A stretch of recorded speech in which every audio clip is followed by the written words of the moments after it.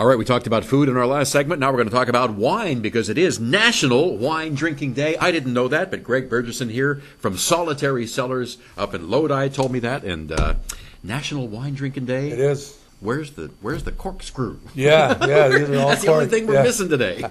How are you, buddy? I'm well. I'm Yeah. well. Good to see you. You're you worked in the prisons for a while. 25 years. I retired last August. Yeah. Yeah, you and a buddy started this. Yeah, uh, he's still working. He's uh, he's a lieutenant up at Valley State Prison in Chowchilla. But yeah, we started the winery, Solitary Cellars, Wines Without Restraints.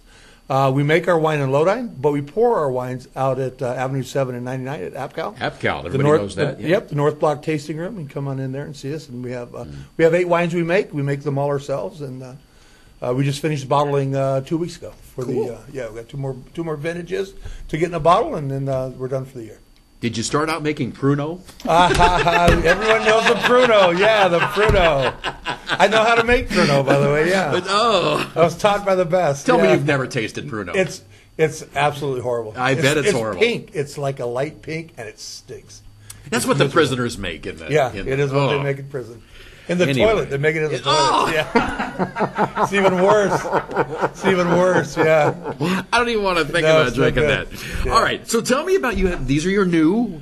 Yeah. So what New we have, uh, yeah. So so our uh, our business model, our concept is we take um, we go to uh, areas of California that we think certain varietals grow best in because Okay. not everybody has the same climate, Right. Same soil. So we do uh, we have wines from the Lodi region, uh, from Amador County, uh, from Monterey County, one from Fresno County. And so we, we get the fruit. We work with farmers. We're not growers, but we work with farmers. We source the fruit. We take it all back to Lodi, and we make the wine in Lodi. Make it, uh, ferment it, age it, bottle it, label it, and then we bring it all back home. I live in Chowchilla. Uh, my partner Rick's here in Fresno, and then we we sell the product out of the uh, APCAL uh, the, or North Block tasting room there at APCAL. Apcal's right at 99 and Avenue 7, right? correct. Yeah, three two seven four nine Avenue Seven. Yeah. You know, there are some big wine wine making operations up in Napa, Sonoma. They don't like to admit it. They take Fresno County grapes and use Yeah. it in their wine. That is, and the process behind that is um, depending on that year's climate. If they can't reach the certain sugar levels, which are called Brix, then they need to have something that is sugary. Because of our climate, we can really increase the sugar in our fruit. So they will buy. Here's the secret: you can use up to twenty five percent of another appellation's grapes. So it could be seventy five percent Napa Cabernet, twenty five percent Madera County. and they don't have to reveal that? And it's a Napa wine. Ooh. Yeah, so they use ours to augment. Who did they pay off Yes. in Sacramento for it's, that one? It's all good. so that's how they're able to get those 14, 15% alcohol Cabernets is to use sugar, uh, sugary grapes.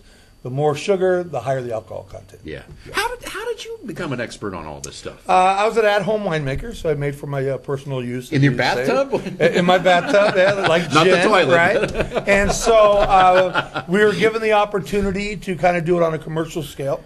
We made 100 cases our first go around, and things just started to ta- take off. We got some awards, and then some media, and then national attention. Wait a minute, wait a minute. You start out with a hundred cases. Where do you Yeah. where do you go sell them? You just go door to door to different We- stores? No, we were at a tasting room under another winery's bond. So we sold out of that tasting room. And then we have a wine club called the Chain Gang, and it started to really snowball, and people liked the story. You know, prison guard guys. You know, I was Charles Manson was in my. You know, when you worked with Manson, my buddy worked with Robert Downey Jr. when he did his little stint. so we have a story, and people just. It's you know California, Central Valley. There's many prisons, so people know people. And uh, September 13, we decided to go into business. We talked to the wives, and we got the blessings. And we uh, opened up at uh, APCAL at March 5th, and been going strong ever since. Yeah. Can I just say, I like it when a prison guard calls himself a prison guard and not a correctional Uh, officer. That's uh, that gives you an idea when I was hired. Um, uh, well, we all know there's Yeah. very little corrections going on. There, yeah, and- unfortunately, right? No, it's um, I uh, I retired as a rank of lieutenant, and my partner is a lieutenant, and so uh, uh, it's 25 years, good career. Um, I'll tell you, they'll love it. They're hiring now. 7,000 officers are needed because we retire out at in their 50s. So there's a real uh, a need for correctional officers. So it's Yeah. a good career. So let me just go ahead and You say know that what? viewers You know who who needs one of these bottles? Charlie Manson. He's getting Charlie, married. he does. I, I didn't get an invitation. I was a little hurt, but yeah. Did, actually, did you hear the latest? The, the marriage is off now. yes. You know why she wanted to marry him?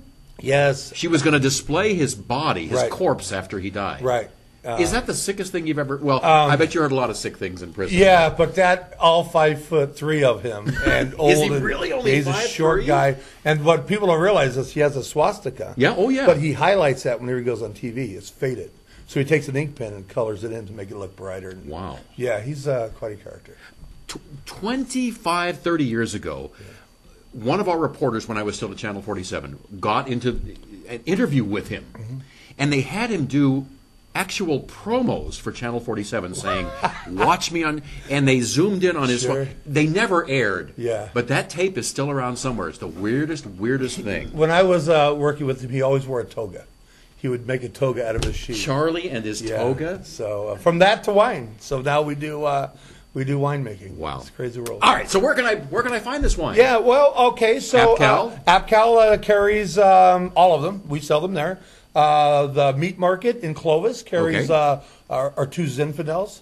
not not the meat market on uh, Ingram in Fresno. No, uh, we just haven't got in there yet. Okay. Um, Slates uh, carries the uh, Barbera and our Old Vine Zin. Uh, the Vineyard in Madera has our Barbera. So it's starting to get into specific restaurants. Uh, we have a couple bottles up at Wine Spectator right now, trying to get that that big score that everybody looks for. Um, we don't really worry about it, but it is part of the game. So it's get, uh, getting in locally, but you, really at AppCal, that's where we uh, we like to do our wine. We do wine and cheese pairings. Okay. So when you come in to see us, it's a five dollar tasting fee, but we waive it if you purchase a bottle. But we do a wine and cheese pairing.